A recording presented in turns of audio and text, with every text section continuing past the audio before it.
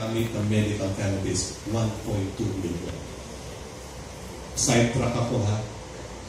Assuming kalahati ng populasyon natin ay babae. We actually, mas ma- more than half ang babae. Alam niyo po ba na 3% na kababaihan ay magkakaroon ng breast cancer?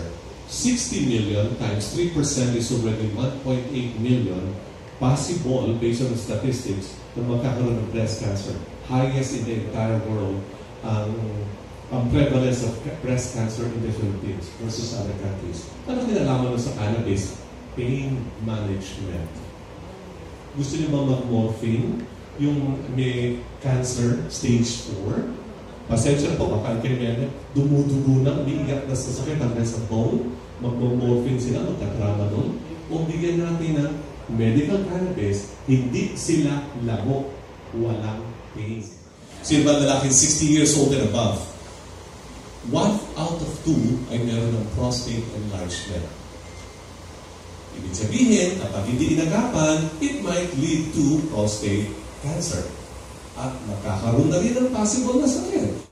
As an individual, I am here to represent our group, Seniors for Medcan Philippines, and all other seniors, patient or not patients, all 12 million of them in the Philippines who are in need or might be in need of this much debated medicine.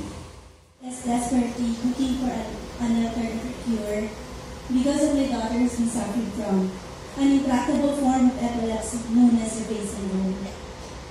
It has always been my dream to look for an alternative option that would somehow improve the quality of her life. And because of that, after much prayers and contemplating, our Wikipedia neurologist told us that there was no cure.